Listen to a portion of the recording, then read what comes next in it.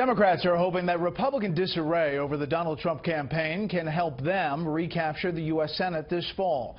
The current lineup has 54 Republicans, 44 Democrats, and two independents who caucus with the Democrats.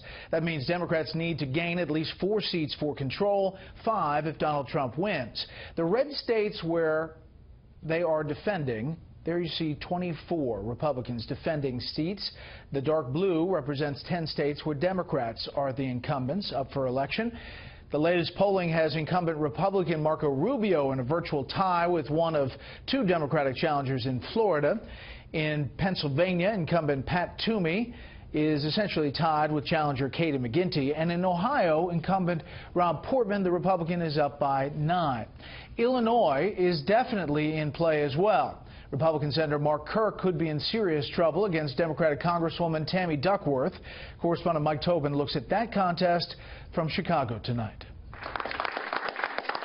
With control of the Senate up for grabs, one of the seats viewed as most vulnerable is Illinois Senator Mark Kirk's. His challenger is Democratic Congresswoman Tammy Duckworth. Since Illinois has long been dominated by Democrats, Duckworth connects the incumbent with all things Republican, the Koch brothers, and Donald Trump. Mark Kirk, you know, when he, he endorsed Donald Trump after he said that all Mexicans were rapists, he endorsed Donald Trump after he called um, women pigs and dogs.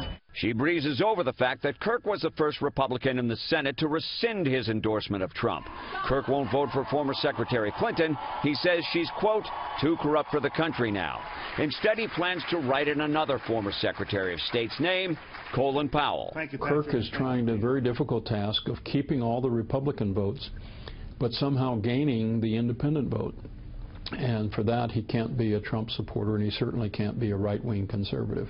At the risk of alienating the conservative minority in Illinois, Kirk has supported abortion rights and gay marriage. He met with Merrick Garland, President Obama's stalled nominee for the Supreme Court, and encouraged fellow Republicans to man up and vote on his confirmation.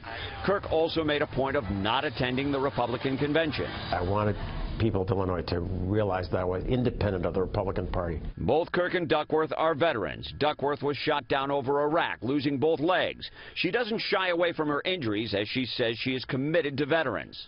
Twelve years ago, I was co-piloting a Black Hawk helicopter over Iraq.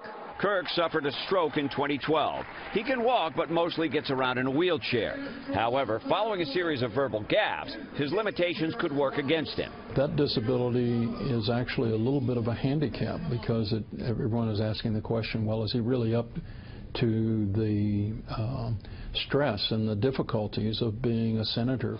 Duckworth is a little shy of having twice as much cash on hand as Kirk does. A lot of her money is coming from labor unions. Kirk's campaign manager says the National Republican Senatorial Committee is coming to their aid, as is the U.S. Chamber of Commerce. And at least one outside super PAC is spending hundreds of thousands of dollars to attack Duckworth's record on national security.